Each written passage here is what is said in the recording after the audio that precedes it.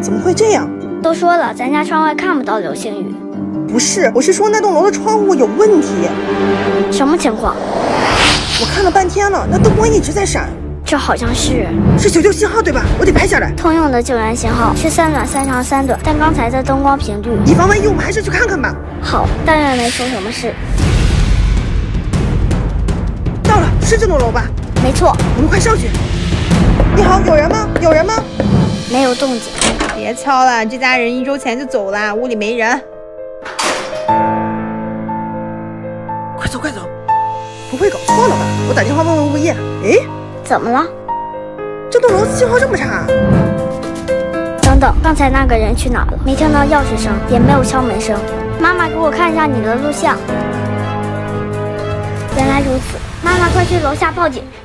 你发现什么了？那间屋子确实有人在用灯光传递信号，但并不是向外求救，而是由于手机信号不佳，所以在用灯光向同伙传递信息。刚才过道里的男人应该就是同伙，之所以无声无息的消失了，也是因为躲在屋里传递信号的人从里面给他开了门。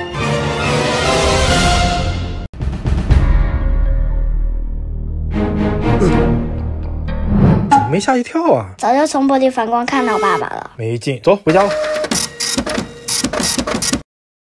今天公司没什么人，谁在用打印机？真无聊，这种恶作剧。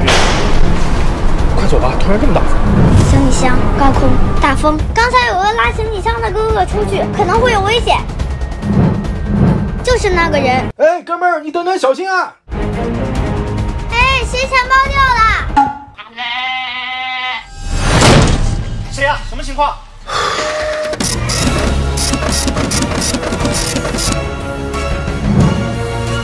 快了！我给保安打电话。我再联系爸爸，希望来得及。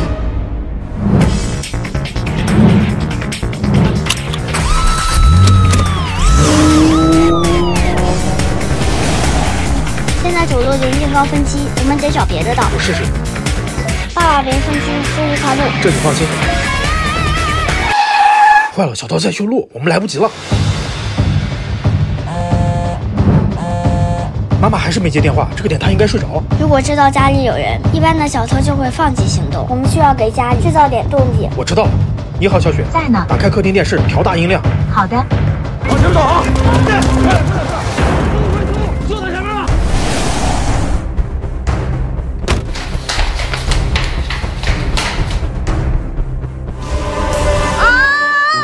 是我是我，老婆你没事吧？太吓人了，保安刚走，我以为又有人来了。有惊无险。对了，步美，家里这打印机是不是出问题了？几分钟前一直在打印。